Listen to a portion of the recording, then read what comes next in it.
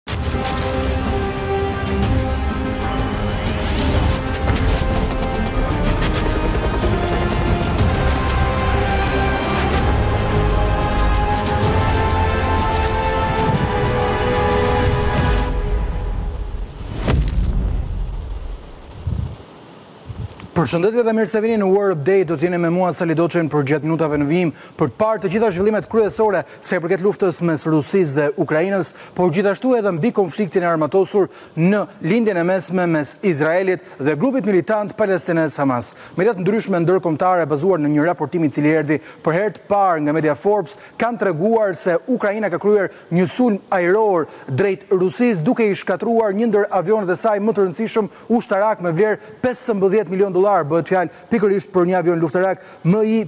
tetë, i cili është një model i epokës sovjetike, sipas asaj që kanë shkruar media të ndryshme ndërkombëtare. Droni ukrainas që u përdor për këtë sulm nuk është zbuluar ende me emër të specifikuar, por sipas asaj që thonë media të ndryshme ndërkombëtare, ai peshonte më pak se një kilogram. Kjo është një ndër humbjet më të mëdha që Rusia ka përjetuar në flotën e saj ajrore si pasojë e sulmeve të kryera pikërisht nga forcat e mbrojtjes ukrainase, sipas asaj që shkruajnë sërisht mediat ndërkombëtare, duke u konfirmuar edhe nga burime pranë Kievit, sulmi ka ndodhur rreth pesëdhjetë kilometra larg vijës së frontit, pikërisht në qytetin e Donjeckut, atje ku po zhvillohen luftime intensive që prej nisjes së këtij konflikti në shkurt të vitit dy mijë e njëzet e dy. Ky sulm ajror ka treguar gjithashtu edhe detaje të reja sa i përket muajit korrik, pasi sipas asaj që ka konfirmuar vetë Kievi, përgjatë korrikut për herë të parë në më shumë se dy vjet luftime, Ukraina ka arritur që të kryejë më shumë sulme ajrore drejt territorit të Rusisë seç ka kryer Rusia drejt territorit ukrainas. Sipas të dhënave të dhëna nga Kievi zyrtar,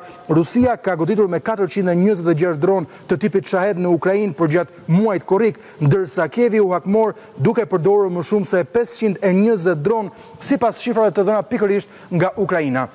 Në mesin e dronëve që Kievi ka përdorur për të shënjestruar territore të ndryshme të Rusisë, kanë qenë edhe dronët artizanalë të cilat u prodhuan nga vetë Ukraina në një kohë kur kishte mungesë të ndihmës ushtarake perëndimore për shkak të ngërçit politik në Bruksel, por gjithashtu edhe në Uashington. Do të zhvendosim vëmendjen tonë tanimë për të folur mbi situatën e konfliktit në Lindjen e Mesme, ku një raportim i New York Times zbuloi se shefi politik i grupit militant palestinez Hamas, i cili mbeti i vrarë më tridhjetë korrik, Ismail Haniyeh, është vrarë nëpërmjet një bombe e cila ishte vendosur në ndërtesën apo në rezidencën ku ai po qëndronte Rreth dy muaj më parë, sipas pesë zyrtarëve të Lindjes së Mesme, bomba ishte fshehur rreth dy muaj më parë në zonën apo në dhomën ku po qëndronte Ismail Haniyeh. Shtëpia për mysafyrë drejtohej dhe mbrohej nga Korpusi i Gardës Revolucionare Islamike dhe është pjesë e një kompleksi të madh të njohur si Neshat, një lagje e pasur, kjo e Teheranit verior. E gjithë kjo tregon se në fakt Sulmi i kryer pikërisht ndaj Ismail Haniyeh ka qenë një sulm i cili është planifikuar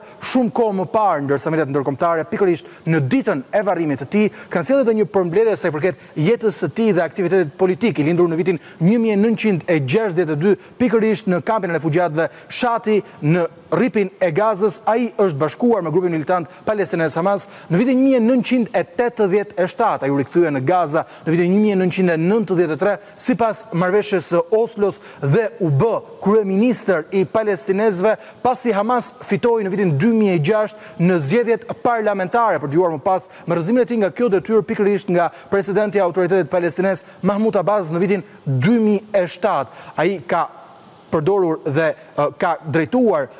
qeverinë e Gazës duke u përpjekur më pas në aspektin diplomatik dhe që prej tërheqjes së tij në vitin dy mijë e nëntëmbëdhjetë kur la edhe qytetin e Gazës dhe u fokusua për të jetuar në Katar ai ka dhënë kontributin për grupin militant palestinez Hamas sa i përket marrëdhënieve diplomatike të këtij grupi dhe për të vijuar më pas në qershorin e vitit dy mijë e njëzet e katër ku ai humbi dhjetë familjarë të tij të ngushtë si pasojë e sulmeve të kryera nga ushtria izraelite ku bëheshin fjalë pikërisht edhe për fëmijët e tij, motrat e tij apo edhe nipërit e tij. Në fakt kemi sjellë në War Update përpara disa kohësh edhe videon në momentin që ai merr lajmin nga Katari. Ishte ky informacioni i fundit i përgatitur për këtë hapësirë të War Update. Unë ju falenderoj për vëmendjen tuaj. Së bashku do të shihemi sërisht nesër për më të rejat e fundit nga konfliktet më të nxehta globale.